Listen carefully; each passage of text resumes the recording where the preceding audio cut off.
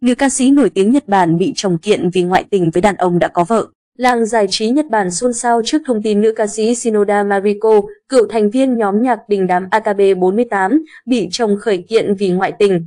Theo Bansun, chồng của Shinoda Mariko đã nghi ngờ vợ ngoại tình, tuy nhiên nữ ca sĩ giấu khá kỹ. Shinoda Mariko và người tình thường xuyên thay đổi các ký hiệu để hẹn hò mà không bị phát hiện.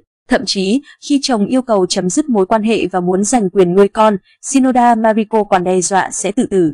Theo chồng của cựu thành viên nhóm AKB48, Shinoda Mariko lừa dối anh và ngoại tình với giám đốc một công ty du lịch, đã có vợ và hai con trai từ tháng 5. Họ thường gặp nhau tại căn hộ riêng của vị giám đốc. Sau đó, chồng Shinoda Mariko đã tìm các bằng chứng cô nhắn tin với người tình. Bên cạnh đó, đến tháng 6, khi chất vấn Shinoda Mariko về mối quan hệ ngoài luồng với người đàn ông khác, chồng của nữ ca sĩ đã ghi âm lại để làm bằng chứng. Trước khi đệ đơn kiện vợ và giám đốc công ty du lịch vi phạm luật hôn nhân, chồng Shinoda Mariko cho biết từng đề nghị vợ chấm dứt đoạn tình cảm không hợp pháp để giữ hạnh phúc gia đình nhưng bị từ chối. Shinoda Mariko thậm chí còn bỏ bê chồng con vì muốn đến với nhân tình. Trước những lời cáo buộc của chồng, Shinoda Mariko cho biết cô bị hiểu nhầm, vụ an. Nữ ca sĩ khẳng định khi cô gặp gỡ vị giám đốc kia có cả trợ lý đi cùng.